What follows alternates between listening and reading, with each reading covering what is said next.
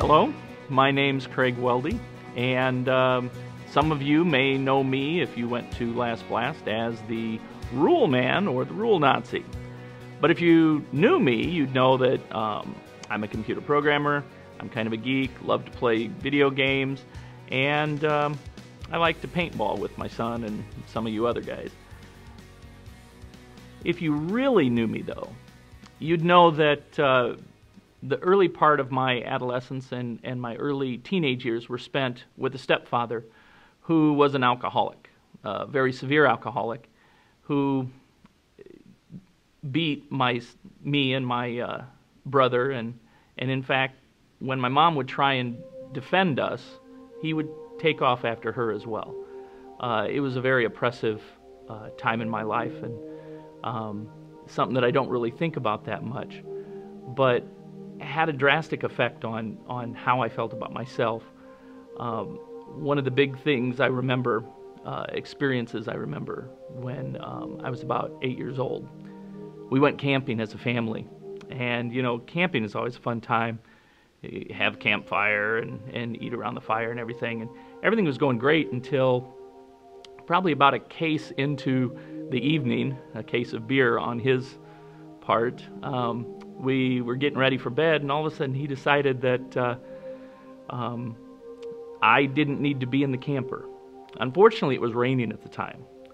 So I got to spend the night outside underneath the front of the camper trying to stay dry. Um, my mom, of course, tried to object, and, and he hit her, gave her a black eye.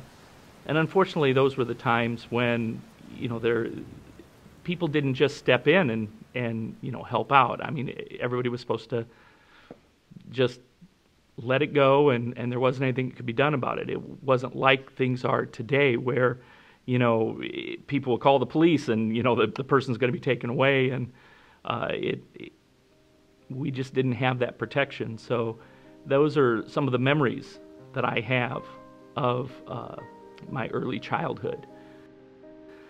For a long time, I, I hated my stepfather.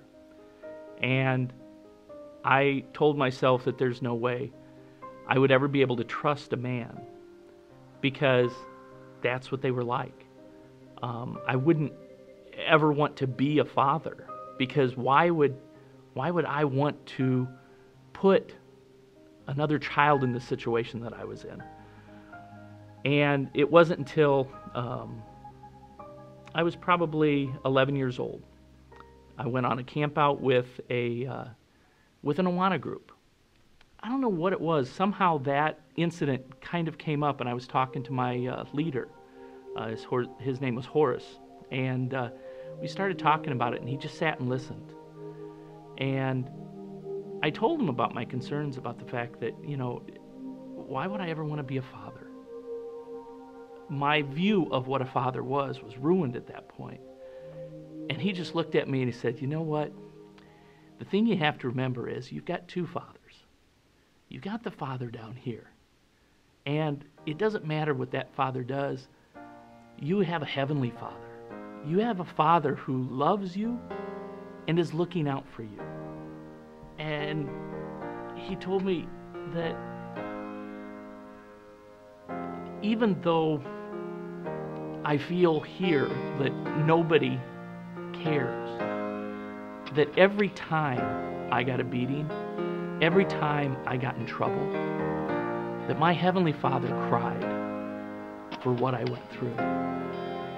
And just the knowledge that, that there was somebody who was thinking about me, that was concerned about me, really had a drastic impact, impact on